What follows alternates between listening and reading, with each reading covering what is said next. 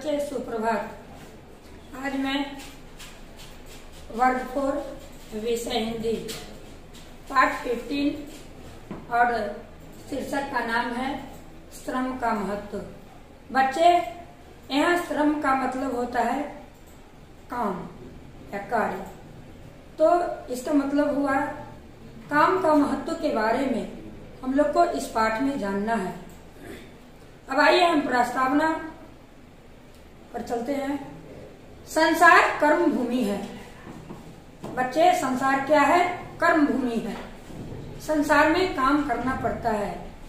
यहाँ की जो भूमि है कर्म भूमि है। कर्म करना हमारा सबका धर्म है। जीवन में सफलता प्राप्त करने का साधन है श्रम। कहते हैं, जहाँ चाह वहाँ राह। हमारी चाह बिना श्रम के राह नहीं बना सकती। इच्छा शक्ति भी आवश्यक है, लेकिन इच्छा पूर्ति के लिए श्रम का बहुत महत्व है। अतः कहा जाता है कि श्रम सुख का भी साधन है।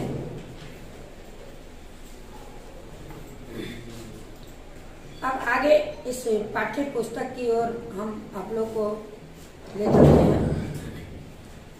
आपने चींटी को देखा होगा। वह श्रम करके एक एक दाना चुनती रहती है। अपने बिल में उनका संग्रह करती है। संग्रह का अर्थ होता है जमा करना। वर्षा के दिनों में दाना इकट्ठा करना बहुत कठिन होता है। ऐसे समय में चीटी अपने भंडार से ही भोजन प्राप्त करती है। चीटी का भोजन भंडार किसकी देन है? निश्चय ही श्रम की देन है। कहने का मतलब है, चीटी जो भंडार में जमा करती है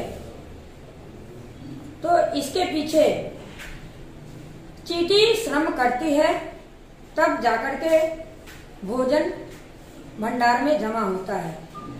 उसकी मेहनत का ही फल है। विद्यार्थी का जीवन भी कार्य क्षेत्र है। कक्षा में कार्य होता है गृह कार्य भी उसे करना पड़ता है। खेल का मैदान भी उसकी कर्म स्थली है। अधिकतर बच्चे चाहते हैं कि कक्षा में उनके कार्य की प्रशंसा हो।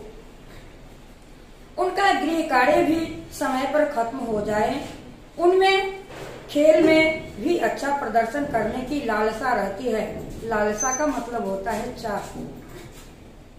जरा सोचो वे उत्तम कार्य करने की अपनी चाह को कैसे पूरा करें? समय पर गृह करने की, कार्य करने की इच्छा कैसे पूरी हो? खेल में अच्छा प्रदर्शन कैसे किया जा सकता है? इन सभी प्रश्नों का सरल सा उत्तर है परिश्रम। अगर हम परिश्रम करेंगे तो ये सारी समस्या सोल्व हो जाएगी। परिश्रम ही सफलता की कुंजी है किसी ने सच कहा है। बिना श्रम के रोटी का टुकड़ा भी मुँह में नहीं जाता। बच्चे यहाँ कहने का मतलब है कि रोटी का टुकड़ा मुँह में ले जाने के लिए हमें श्रम करना पड़ता है। श्रम साधना कठिन होती है। आपने देखा होगा, जब हम कोई काम शुरू करते हैं तो शुरू में बड़ा उत्साह रहता है। उत्साह का मतलब होता है खुशी। खूब श्रम करते हैं। श्रम का मतलब यहाँ काम। जब काम करते हैं सॉरी जब काम करते समय कोई कठिनाई आ जाती है तो कार्य अधूरा छोड़ देते हैं। मान लीजिए, आपने सुंदर लेख का अभ्यास आरंभ कर किया। पेंसिल टूट गई, शार्पनर आपके पास नहीं है आपने पेंसिल बनाने की कोशिश नहीं की।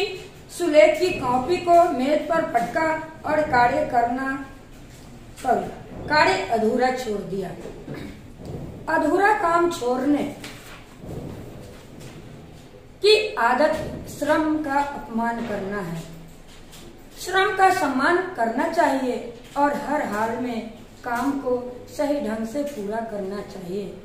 बच्चे, कहने का मतलब है कि हमको कि हमें किसी काम करने के लिए हर चीज़ उपलब्ध होना ज़रूरी है।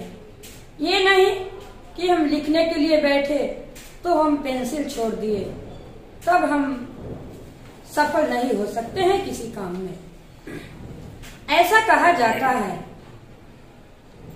सॉरी ऐसा कहा गया है कि नीच, अर्थात बुरे लोग बाधाओं के डर से कोई काम शुरू ही नहीं करते हैं। उनको डर लगा हुआ रहता है कि ये काम में हम सफल होंगे या नहीं। इसलिए ये कौन व्यक्ति होते हैं? बुरे लोग होते हैं, नीच व्यक्ति होते हैं। और मध्यम लोग काम शुरू तो कर देते हैं, लेकिन बाधाएँ आने पर उसे बीच में छोड़ देते हैं। और मध्यम वर्ग के लोग क्या करते हैं? काम शुरू कर देते हैं, लेकिन जब काम करने में बाधाएँ आती है तो उसे उसी जगह छोड़ देते हैं। लेकिन उत्तम जन बाधाओं के बार बार आने पर भी शुरू किए गए काम को अधूरा नहीं छोड़ते। उसे पूरा करके ही दम लेते हैं। बच्चे, यहाँ पर हम तीन प्रकार के लोग देखें। एक बुरे व्यक्ति, एक मध्यम वर्ग के लोग और एक उत्तम जन। तो आप लोगों ने देखा कि हर व्यक्ति में अपने अपने ढंग का गुण अवगुण है। तो हम लोग को क्या बनना चाहिए? उत्तम जन बनना चाहिए। जिस काम को शुरू कीजिए, उसको पूरा करना है। अब आगे हम चलते हैं। काम करते समय जो कठिनाई आए, उसे श्रम से दूर करें। इस प्रकार मेहनत करने से हमारे मन में शक्ति आती है। शक्तिशाली मन बाधाओं को दूर करने में परिश्रम को ताकत देता है। काम से जी चुराना और आज का काम कल पर टाल देना भी बाधा बन जाता है।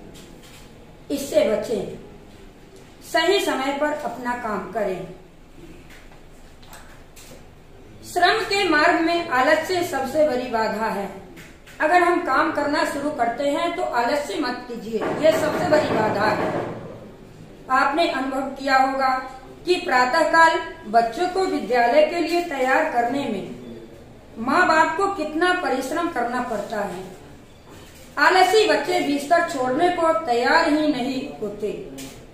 उठ भी गए तो स्नान करने और मंजन करने में बहुत समय लगाते हैं। रोनी, सूरत लिए ही विद्यालय जाते हैं। उनसे सब काम ज़बरदस्ती करवाने पड़ते हैं। क्या कभी सोचा है कि ऐसा क्यों होता है? मन में आलस्य का बोलवाला होता है। बच्चे आलस्य के कारण ही ये सारी समस्याएँ होती है। आलस्य श्रम के महत्व पर ताला लगा देता है। इससे आलस्य की जीत हो जाती है और श्रम की हार। यही बालक जब आलस्य और श्रम के भेद को समझ लेता है, तब परिश्रम करने में उसे बहुत मज़ा आने लगता है। तब जानते हो आलस्य पर इसका क्या प्रभाव पड़ता है? आलस्य, परिश्रमी बच्चों के मन से विदा हो जाता है। अतः श्रम का महत्व समझकर हमें मेहनत करने में आनंद लेना चाहिए। बच्चे, इस पाठ से यही सीख मिलती है कि हमें कभी आलस्य नहीं करना चाहिए। तन मन से जो काम को हम शुरू करते हैं, उसे पूरा करें। धन्यवाद।